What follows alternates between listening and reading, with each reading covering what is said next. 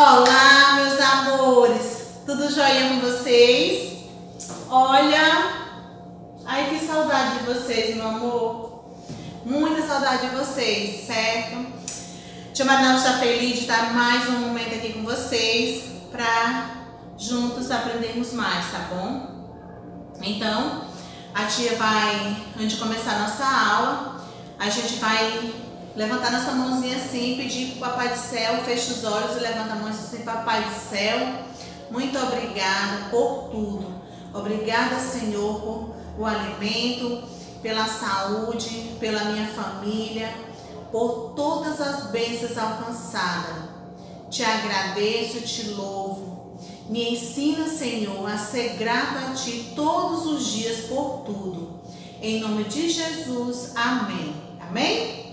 Amém. Pois é, meus amores, nós estamos aqui para a aula de matemática.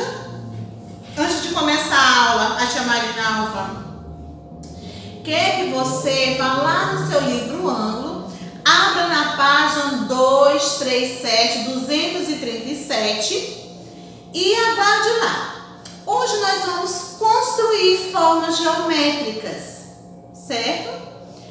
A tia já deixou os desenhos aqui no quadro, na página de vocês tem. Então a tia vai perguntar para você que forma geométrica é essa aqui. Fale para a tia Marina É um triângulo, isso mesmo, é um triângulo. E essa forma geométrica aqui é o quê? Um quadrado. O quadrado, ele tem os quatro lados e iguais. Ele é um quadrado, certo? E nós temos aqui o retângulo.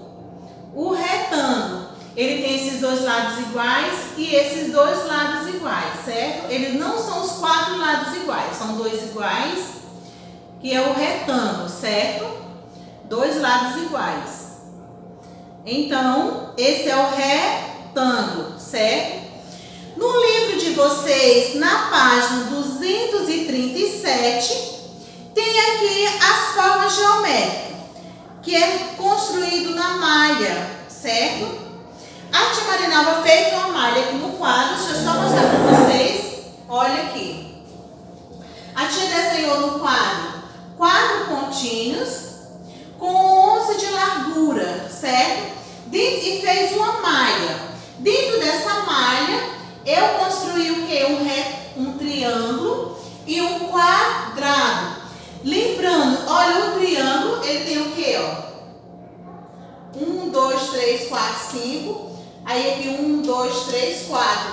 Um, dois, três, quatro. Então, assim, não são iguais os lados, certo? São diferentes o triângulo. Agora, o quadrado. O quadrado, eles são o quê? Quatro lados iguais. Ou seja, eu tenho aqui, ó, um, 2, 3, 4.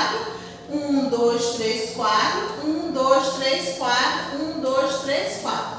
Então, ele tem o quê? Os quatro lados iguais. É o quadrado, certo? A tia não formou aqui o retângulo na malha, certo?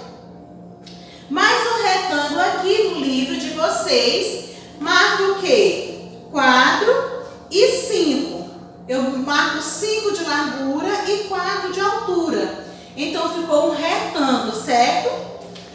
Isso mesmo, meus amores. Agora, nós vamos lá na página 238. Passa a página com a tia Marinalva. Na página 238, diz o quê? Tá aqui essa malha aonde vocês irão construir o que que ele está pedindo. Diz assim, utilize o geoplano e reproduza as formas geométricas, certo? Essa tem. Represente no modelo da página anterior. Você vai contar, olha, você vai observar esse modelo, ver quantos pontinhos eles usaram para marcar as formas geométricas e você vai fazer aqui nessa malha, nessa malha aqui. Aqui diz assim, representa. Você se lembra dos nomes das formas do tangram? Lembra das formas do tangram? Quais são as que tem? São quadrado, triângulo, retângulo, não é isso? Isso e o círculo, certo? Aqui, o quadrado... Ah, não, é aqui, ó. Quais são as formas do tangram? São elas o quadrado, o triângulo e o paralelogramo. Represente três formas do seu geoplano. Outra forma, você vai representar três formas aqui, certo? Na malha quadriculada. Aí, eu posso representar o quê? O retângulo, o triângulo e eu não fiz o paralelograma, certo? Mas no, no, no material do Tangram tem, certo? Agora, tem aqui, no número 3, outra forma que você conhece o retângulo. É o retângulo. Represente no seu geoplano dois retângulos diferentes. Certo? Aí diz, no número 4, as formas representadas no geoplano podem também ser representadas em uma malha quadriculada usando uma régua. Desenhe um retângulo. Além de você desenhar aqui, você pode usar uma régua, certo? Você pode contar os pontinhos, você pode usar uma régua para marcar, certo? E desenhar na malha quadriculada um retângulo. Você vai desenhar dois retângulos de forma diferente, certo? Usando a régua, tá bom? Aí você passa a página. Para finalizar aqui na página 239, diz assim: Com as formas geométricas podemos construir diferentes figuras. Vejam, aqui tem o que? Tem o robô, Lembra do robô que a gente montou? A gente montou de sucata, mas tem os robôs que você pode montar com tangram, com as peças do tangram. Esse aqui ele usou o que? O quadrado, usou o retângulo para fazer esse boneco. Só estão usando triângulo, retângulo e quadrado para formar esse aqui, certo? Então aqui ele diz assim, na letra A, da número 5. Use sua criatividade e desenhe uma figura com as formas geométricas que você já conhece. Qual é a forma geométrica que você já conhece? Aí você vai fazer o quê? Você vai fazer uma forma geométrica aqui nessa malha. Aí você vai desenhar a forma que você já conhece, pode ser qualquer um, triângulo, quadrado, retângulo. Qual é que você, você vai desenhar e vai escrever o nome da, das formas que você usou, certo? Você vai escrever o nome das formas que você desenhou aqui. Certinho, meus amores? Então, só retomando, o que é para fazer aqui? Você vai criar, desenhar uma figura com formas geométricas que você já conhece. Você vai criar uma figura. Ele usou o que aqui? No número 5, ele usou?